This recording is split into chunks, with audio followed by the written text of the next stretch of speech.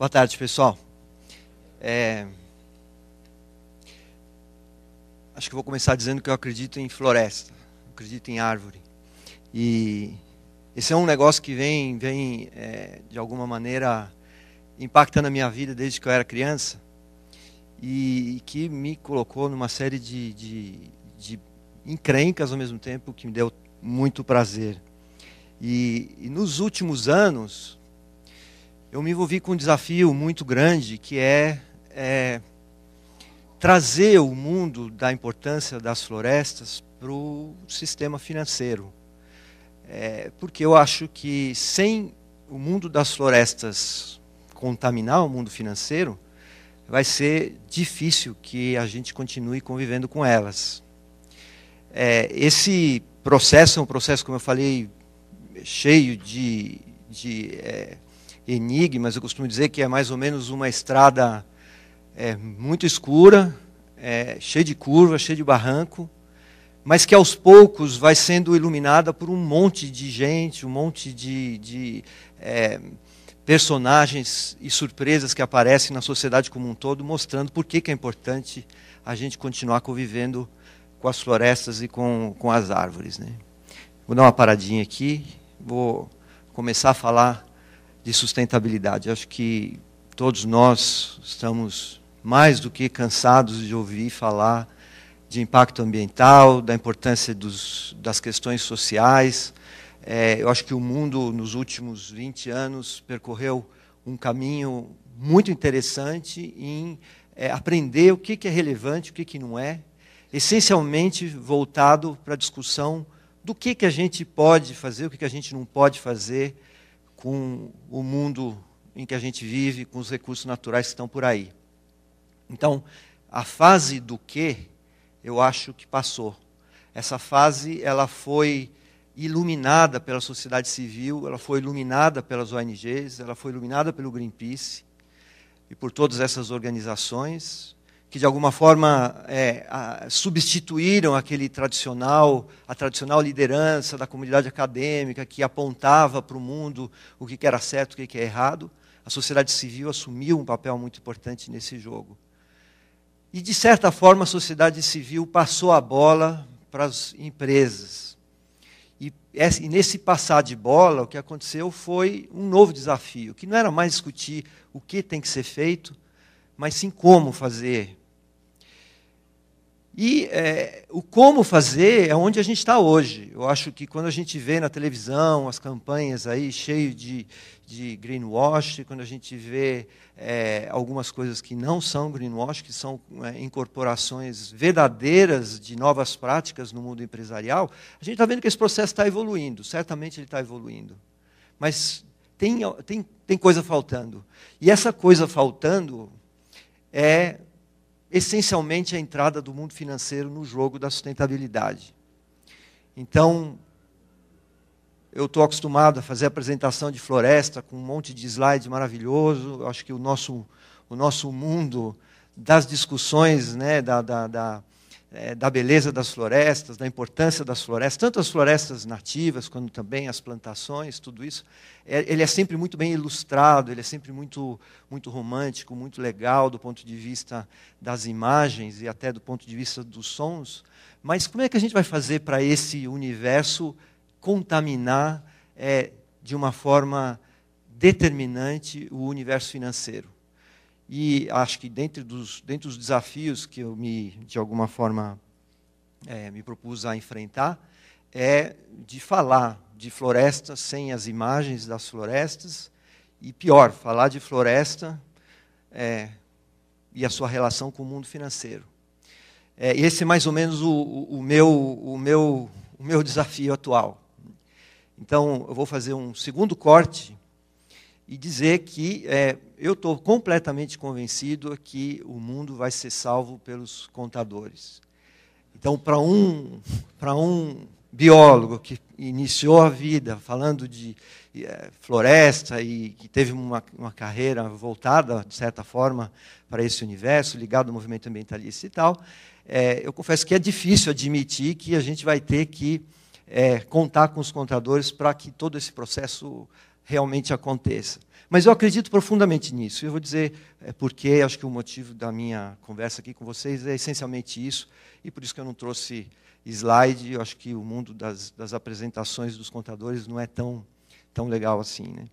É, a história começa, de certa maneira, com um, admitindo que qualquer atividade empresarial causa externalidade. Hoje, mais a, a, o mundo da sustentabilidade é muito pródigo em, em, desenvolver palavras novas, conceitos novos. Externalidade é uma delas. Ou seja, é meio óbvio que qualquer coisa que a gente faça, qualquer, qualquer atividade empresarial, ela vai além dos produtos, dos serviços, da comercialização, ela gera externalidade. É meio evidente isso. Eu acho que essa, toda essa viagem da sustentabilidade nos mostrou isso, né? que tem um, um, muita coisa é, causada pelas atividades empresariais que não são computadas no universo é, dos produtos e serviços que elas fazem. Então, é, a primeira constatação dessa viagem das florestas aos contadores, ela passa pelo reconhecimento de que as atividades empresariais causam externalidades. Óbvio, externalidades negativas, a gente tem convivido muito com a crítica às externalidades negativas, mas também muitas externalidades positivas. Então, esse, esse, esse, esse, é, essa constatação das externalidades, por incrível que pareça, é algo recente no mundo é, financeiro, no mundo da contabilidade, no mundo dos investidores.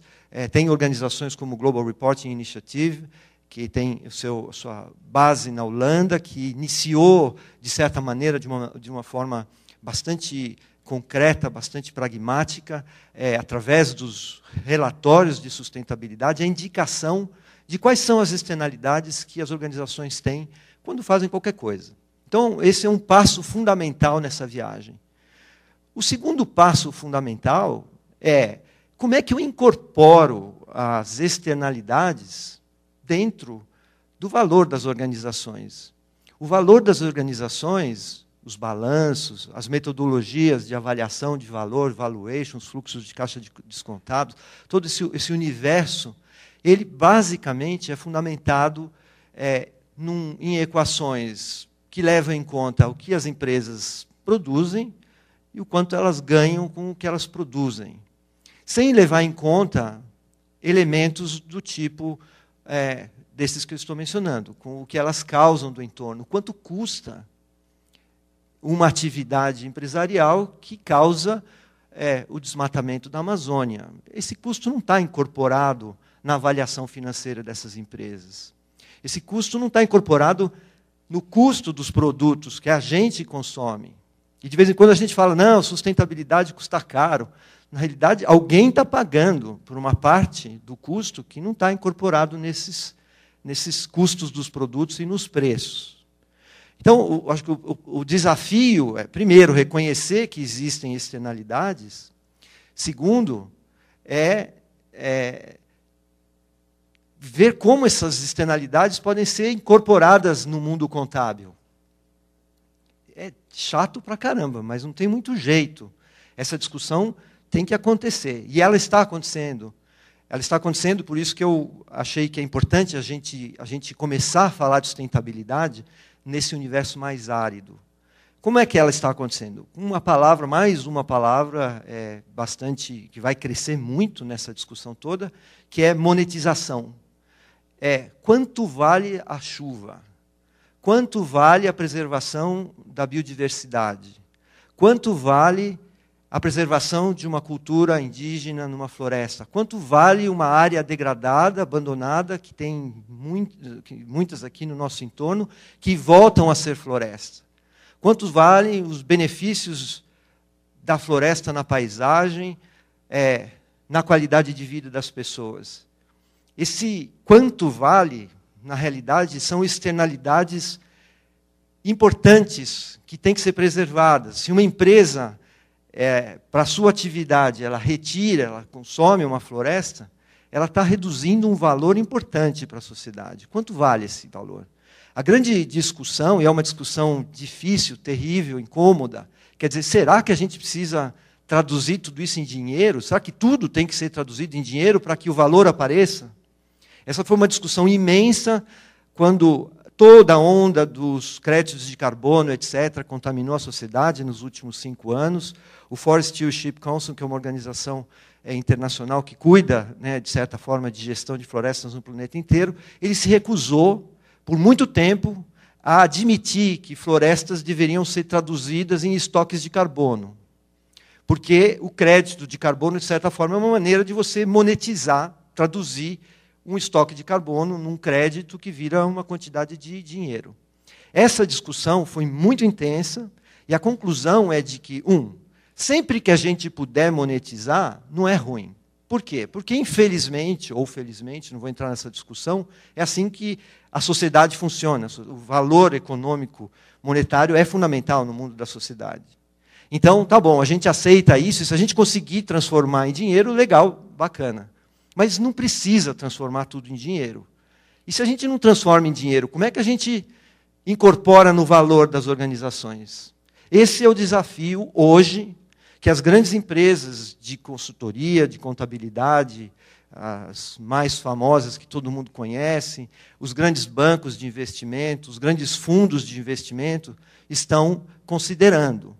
A partir do momento em que esses valores precisam de alguma forma ser incorporados nos balanços, nos valuations, é, eles têm que, tem que haver uma metodologia para que isso ocorra.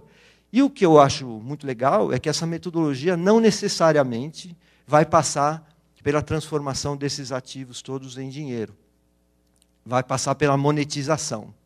Se não vai passar pela monetização, pela monetização como, é que ele, como é que ele vai passar a ser incorporado na vida econômica das empresas. Esse é o desafio de, um, de uma iniciativa chamada Integrated Reporting, um negócio que envolve todos os grandes centros de contabilidade do mundo, que estão tentando colocar no balanço das empresas, e esse é um desafio para os próximos cinco anos, essas externalidades positivas e negativas que as organizações é, causam quando elas atuam. E o mundo florestal depende profundamente desse passo.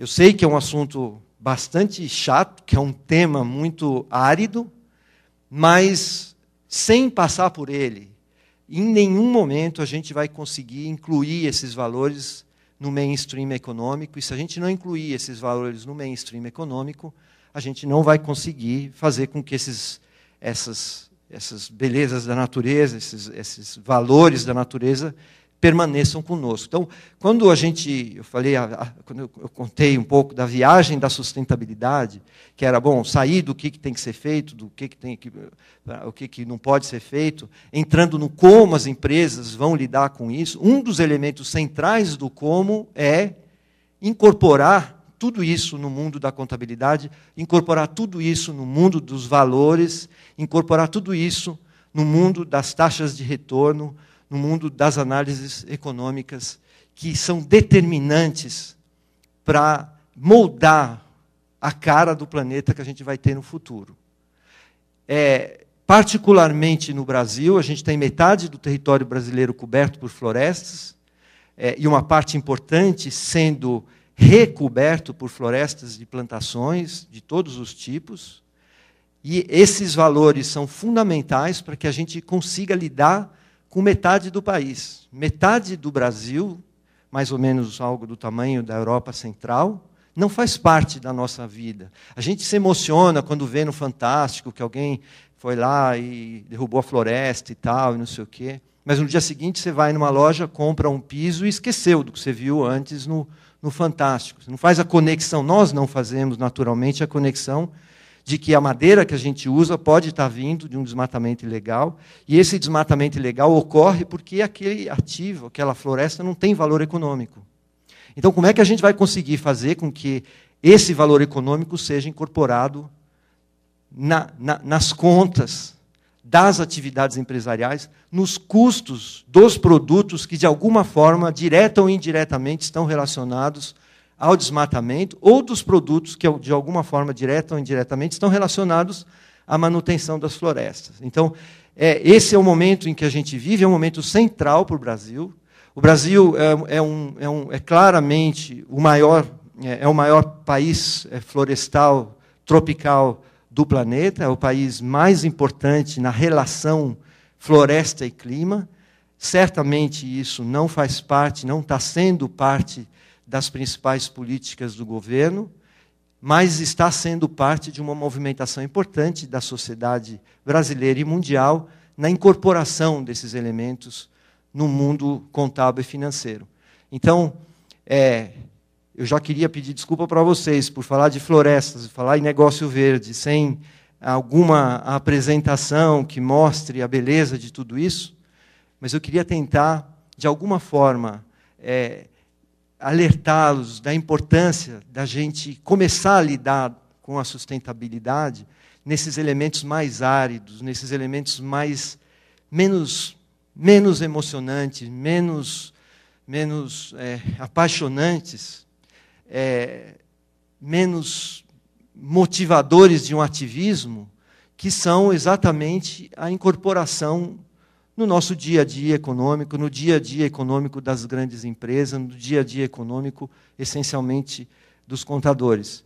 E por isso que, com o movimento que eu tenho visto nos últimos meses, especialmente no que aconteceu na Holanda dois meses atrás, uma reunião com mais de 1.500 pessoas, falando da importância da incorporação desses elementos é, no mundo econômico financeiro das empresas. E quem estava falando isso não eram ativistas, eram é, personagens do mundo econômico financeiro, fazendo com que esses elementos realmente passem a ser determinantes para o como a gente vai passar a fazer as atividades humanas daqui para frente.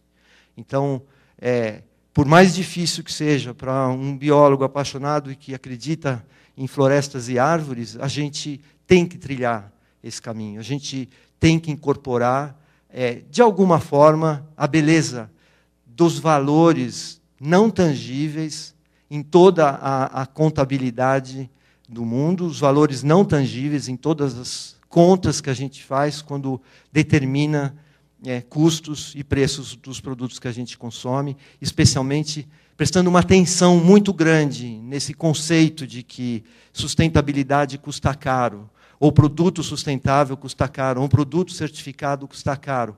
Esse caro é simplesmente porque grande parte das externalidades dos custos não estão incorporados como deveriam. Isso, isso demanda uma atitude com relação à sustentabilidade diferente da que a gente tem até hoje, talvez menos apaixonada, como eu disse, talvez menos romântica, mas essencial para que a gente incorpore esse processo todo é, na nossa vida daqui para frente. Obrigado pela atenção e pela oportunidade.